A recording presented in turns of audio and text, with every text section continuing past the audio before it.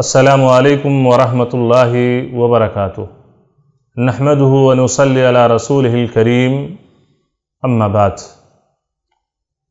मोहतरम नादरीन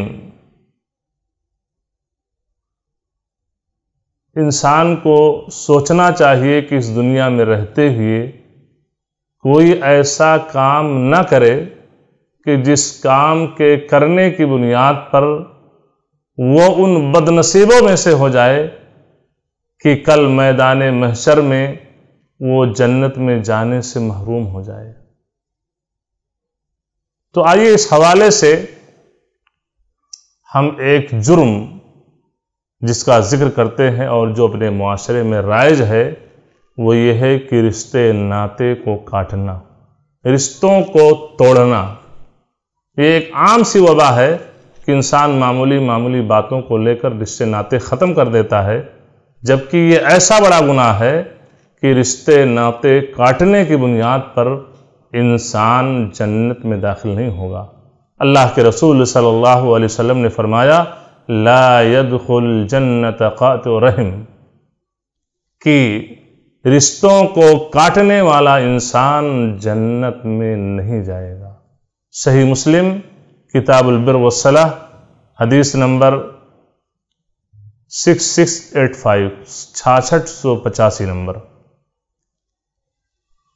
लोग कहते क्या है? मामूली सी चीज़ें लेकर के कि फला इंसान मैं बीमार था, मेरी बीमार कुर्सी के लिए नहीं आया। फला इंसान मेरे कहने पर फला पार्टी को उसने वोट नहीं दिया। फला इंसान, मैं फला इंसान से हमारी गुफ्तगु नहीं है क़त ताल्लुकी है तो मेरे दुश्मन से वो क्यों मिलता है और उससे क्यों बातें करता है जबकि मैं उससे बात नहीं करता हूँ?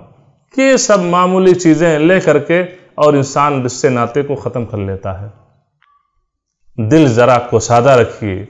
आपको मालूम होना चाहिए कि अबू बकर सिद्दीक रदी अल्लाह हो ये वो सहाबी रसूल हैं कि जब अम्मा आयशा रदी अल्लाह तहा पर मुनाफिकीन ने जना की तहमत लगा दी और अल्लाह के रसूल वसल्लम की चहेती बीवी अम्मा आयशा रज़ी अल्लाह तहा पर यह तहमत लगाई और अल्लाह के रसूल वसल्लम की इज़्ज़त पर हमला कर दिया। मामला ये था कि अल्लाह के रसूल वसल्लम बेचैन हैं और सूर्य नूर की आयत नंबर 22 जिसमें वो ज़िक्र मौजूद है कि मिस्ताह बिन ओसासा ये सहाबी थे और ये अबू बकर रज़ी अल्लाह तु के कराबतदार थे, रिश्तेदार थे, बल्कि ये खालाजाद भाई थे और ये फ़कीर थे, मोहताज थे। अबू बकर सिद्दीक रज़ी अल्लाह तु उनके पूरे खर्च बर्च की ज़िम्मेदारी लिए हुए थे। लेकिन सुना कि मिस्ताह बिन ओसासा भी इस खबर के फैलाने में और हवा देने में वो भी मुलविस हो गए हैं, वो भी इन्वाल्व हो गए हैं। तो अबू बकर सिद्दीक रज़ी अल्लाह तु ने कसम खा ली और कसम खा करके ये कहा कि अब मैं इनके ऊपर जो नानो नफ़का खर्च करता था, अब मैं इनको नहीं दूँगा। कसम खा ली। तो अल्लाह तबारक ताला ने कुरान करीम की ये आयत नाजिल फरमाई सूरत नूर आयत नंबर 22 वला यतली उलफल मिनकुम वसा तो उलक़ुरबा वलमसाकिन वलमहाजरीन फ़ी सबीलिल्लाह। वलयाफ़ु वलयसफ़ु अला तो हिब्बून अफ़रल्लाकुम कि जो फजल वाले हैं तुम में से, जो मालो जायदाद वाले हैं, वो इस बात की कसम ना खाएँ कि वो कराबतदारों को, रिश्तेदारों को, मस्किनों को और उन लोगों को जो अल्लाह के रास्ते में जिहाद करने वाले हैं, उन्हें अपना माल नहीं देंगे, इसकी कसम ना खाएँ।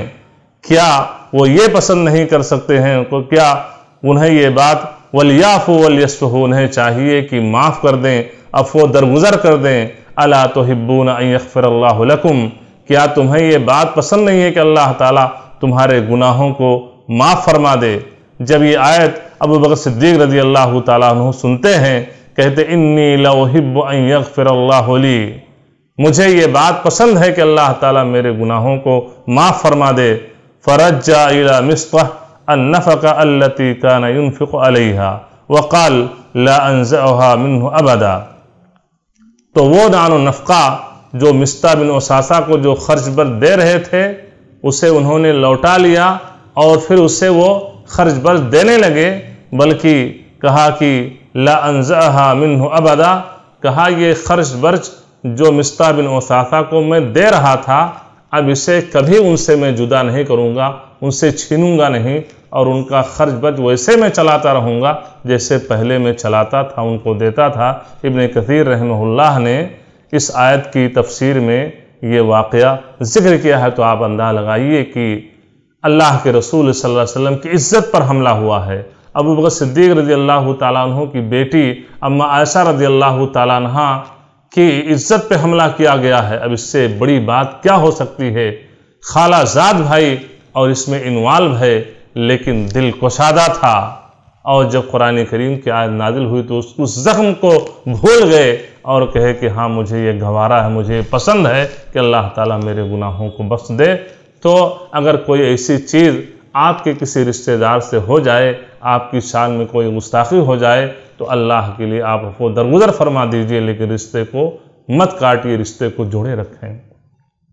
यूसुफ सलाम का वाक़ सूर्य यूसुफ आप पढ़िए कि भाइयों ने क्या किया था? भाइयों ने ले जा के उनको एक जंगल के कुएँ में डाल दिया था और जा कर के अपने बाप से कहा कि उनको भेड़िया उठा ले गया है, पूरी तफसीर आपने पढ़ी होगी, लेकिन जिसको अल्लाह रखे, उसको कौन चखे? अल्लाह ताला ने उनकी ज़िंदगी बचानी थी, महफूज हो गए पूरा वाक़ आपने पढ़ा हुआ, काफिला ले लिया और जाकर के बादशाह मिस्र से बेच दिया। और लंबा वाक़ के अखीर में वो वज़ीर खुराक बन जाते हैं, कहसाली होती है, उनके भाई आते हैं गल्ला लेने के लिए और अखीर में यूसुफ सलाम उनको पहचान जाते हैं। लेकिन यूसुफ सलाम चाहते तो उनकी रिश्ते काटना क्या, उनके गर्दन को कटवा सकते थे। लेकिन कहा, ला तकरीब अलकुमयोम जाओ तुम्हारे ऊपर कोई ज़्यादती नहीं होगी। उनकी इकराम की, उनकी ताज़ीम की और उस ज़ख्म को वो भूल गए और अपने भाइयों को माफ़ फरमा दिया। तो कहने का मतलब ये है कि आपके रिश्तेदार से भी आपकी शान में कोई गुस्ताखी हो जाए तो उससे अल्लाह के लिए माफ़ फरमा दीजिए। लेकिन रिश्तों को मत काटिए। रिश्तों को काटने वाला जन्नत में जाने से महरूम हो जाएगा।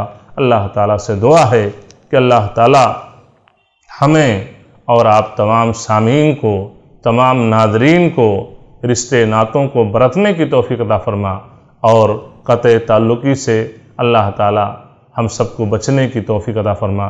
वो आखिर दावान अलहमदिल्ला रबालमीन तुम खैर उखरजत लिन्नास। तअमुरून बिलमअरूफ व तनहौन अनिल मुनकर व तुमिनून बिल्लाह। दारुल खैर फाउंडेशन आइए हमारे साथ जुड़ें। और खैर को आम करें।